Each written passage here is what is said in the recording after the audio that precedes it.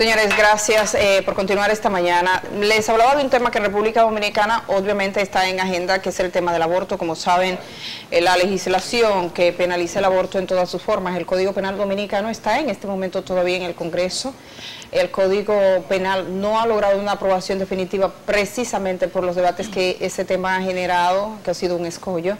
Eh, se ha propuesto tres causales, que es cuando, la, cuando es un caso de violación o incesto, cuando la vida de la madre eh, corre peligro o cuando la criatura se demuestra que su, la prolongación del embarazo eh, al terminar eh, no va a traer una vida que es incompatible con la vida. Esas son las tres causales, que en un momento determinado fue apoyado incluso por la Presidencia de la República. Recordemos que el doctor, el presidente de la República eh, Danilo Medina objetó el Código eh, Penal Dominicano y ha ido y ha venido una y otra vez. Pero bueno, lo que pasa con, la penalización del aborto en República Dominicana tiene consecuencias y es el informe que ha rendido y que ha presentado en el día de ayer y agradecemos muchísimo que esté en el día de hoy aquí en nuestros estudios a Margaret Wert. Eh, Margaret, buenos días. Hola. Bueno, digamos que me gustaría un poco que nos contara de qué trata este informe, eh, que le contara a la gente cuáles fueron los datos que ustedes recopilaron, cuáles fueron las entidades, si son varias, si son entidades internacionales, si es una sola entidad, si está, si participaron entidades de la República Dominicana, cómo se hizo, cómo se acreditó. Claro, sí. Eh, este año Human Rights Watch investigó los impactos de la prohibición total del aborto en este país. Hablamos con más de 160 personas y entrevistamos a 50 mujeres y niñas que hubieron tenido por lo menos un embarazo en sus vidas. Ah, procuramos hablar con mujeres y niñas que hubieron tenido un embarazo no deseado o no planificado para entender cómo fue esa experiencia para ellas. Y muchas de ellas nos contaron que intentaron a interrumpir un embarazo en una manera clandestina y una manera insegura. Ah, muchas tomaron la primera opción y uh, ponieron en, poniendo su, su, salud y su, y su vida en peligro. Eh, hay un caso específico, me llama la atención, por ejemplo, eh, hace un momento leí una historia que publicó en el día de hoy, de hoy CNN, y de todos los casos que ustedes presentaron, escogió el de Esperancita, que fue una chica cuyo caso fue muy conocido. Yo he entrevistado varias veces a la madre de Esperancita. Esperancita es una chica que tenía una enfermedad necesitaba un tratamiento y en el hospital de maestros no se le puso la medicina adecuada en virtud de que si se le ponía la medicina a ella ponía en riesgo la vida de la madre. Al final se fue la vida de la madre y la, vida de la bebé. Eh, ¿Cómo este sería el caso más simbólico de todos, donde finalmente la madre termina falleciendo y la criatura también? Es un caso grave, pero hay muchos casos aquí en la República Dominicana. Uh, entrevisté, por ejemplo, a una mujer de 22 años que cuando tenía 12 años fue violada por un hombre mayor y lloraba desesperada. Ah, pero no quería hablar con nadie sobre su, situación. Y una amiga le dio una infusión de, hierbas y plantas, un remedio casero para interrumpir el embarazo. Y ella se quedó en casa con dolores, sangrado. Una niña de 12 años, víctima de una violación. 12 años. ¿Por, qué?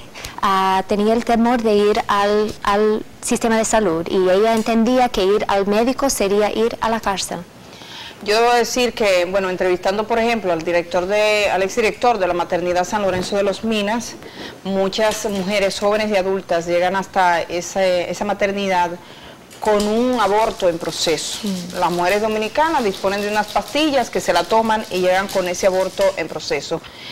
A la luz de esa experiencia, lo que usted está diciendo, que la legislación, la prohibición en sí misma no evita que el aborto se consuma. Exacto. La prohibición. exacto. Todavía mujeres y niñas están intentando a terminar embarazos en maneras clandestinas y maneras inseguras.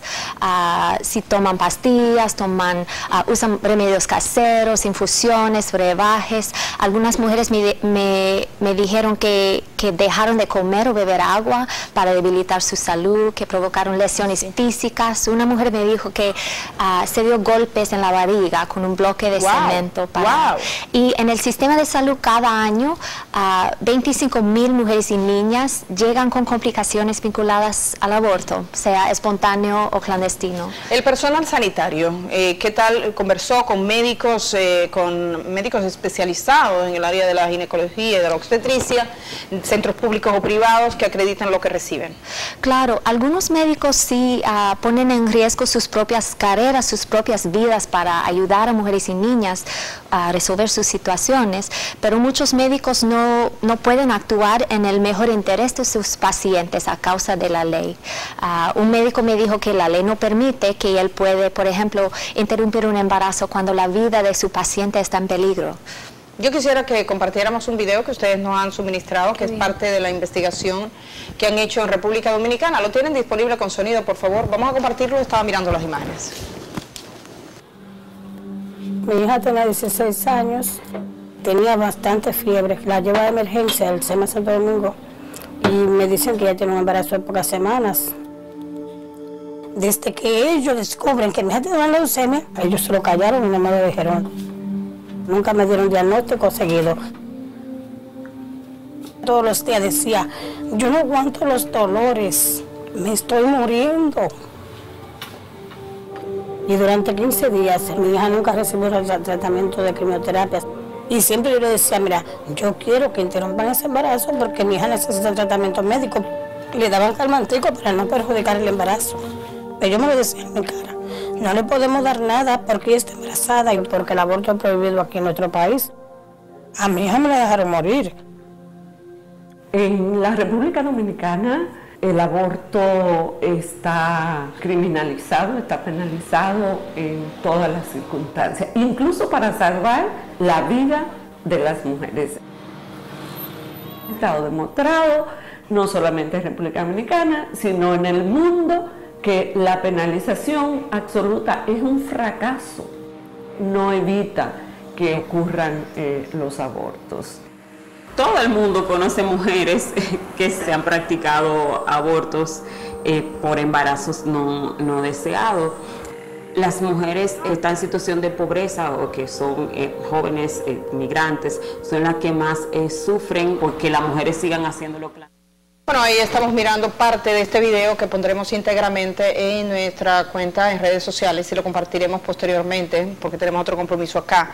Pero bueno, eh, quisiera sí resumir con usted que, que, bueno, por lo que he visto es una investigadora, investigadora de prestigio, eh, le he visto en algunos diarios internacionales de mucha relevancia, no solo en el área del Caribe o América Latina, sino también en Europa, que nos dijera cómo, cómo ve la situación de República Dominicana y en, de algún modo que, cuál es el aporte de este estudio eh, hecho a propósito también de, la situación que tenemos en el Congreso Nacional en este momento. Bueno, la prohibición del aborto en este país es una violación grave de los derechos humanos, derechos de las mujeres y niñas. Y la situación aquí es una es un crisis para la salud pública, para los derechos humanos.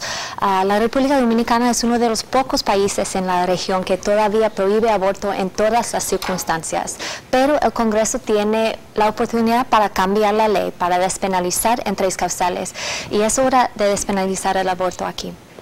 Le agradezco muchísimo por estar en mi cuenta de Twitter. Pues puse eh, también su cuenta que la gente la puede ver en el anuncio del programa del día de hoy, los que le quieran seguir. Pero además quisiera saber que ese informe que se ha eh, suministrado en el día de ayer, ¿dónde está disponible? ¿Dónde la gente lo puede encontrar? En nuestro sitio de web, al sitio de web de Human Rights Watch. Uh, Sí, hrw.org. Sí, ponen eh, situación del aborto en República Dominicana. De hecho, si lo ponen así, sale de inmediato, sale como las primeras noticias del día de hoy. Ahí está la portada del informe. Gracias por acompañarnos en esta mañana. Muchísimas gracias. Muchísimas gracias. Cuando regresemos vamos a estar entonces sí con Laura Costa Lora, que aquí falsifican todo, hasta la firma de los muertos.